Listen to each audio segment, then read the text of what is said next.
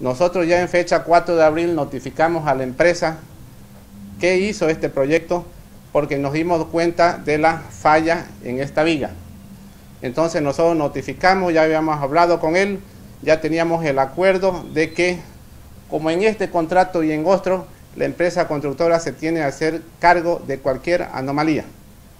No porque lo tenga que hacer, sino porque así lo exige el contrato y así son las garantías que pide este gobierno municipal. Entonces ya había ese acuerdo de que ellos hagan este mejoramiento a la viga, ya estamos trabajando en ello, nos hemos dado un plazo de 20 días, máximo 30 días, para hacer el mejoramiento de estas vigas. Es una solución muy sencilla, de bajo costo, pero de igual forma todo lo va a asumir la empresa constructora.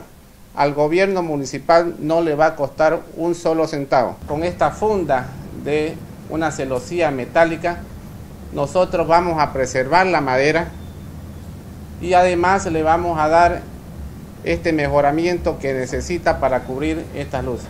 Esta va a ser la solución, una solución sencilla que se va a recubrir la madera con esta celosía metálica.